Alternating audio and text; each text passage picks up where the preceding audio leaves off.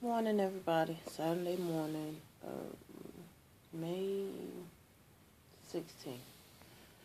Uh, this is what I have left in the greenhouse. Don't plan on putting anything else in here. Um,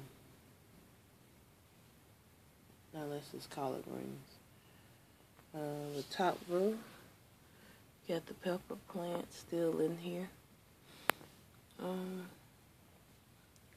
four of them in cups, and I've got the one back there. It's doing really good. I decided to um, top this one off just to see, and it is putting out little like side shoots or whatever. So it is getting bushy. Um, and here's my okra. I try to do two of each variety.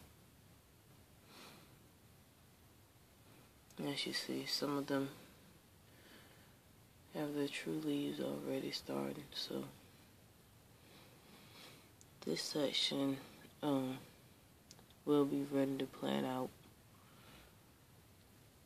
as soon as it gets its other true leaf on it. Down to the bottom.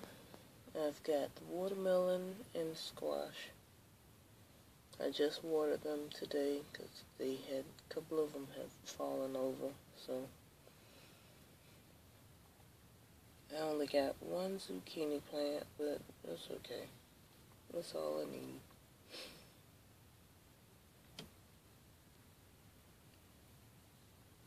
Alright, that's the update.